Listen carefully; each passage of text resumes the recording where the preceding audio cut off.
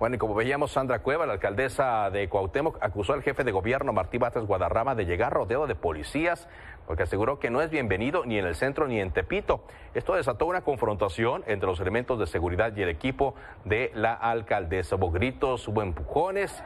La alcaldesa entró otra vez a la zona del incendio eh, porque los uniformados trataban de negar el paso.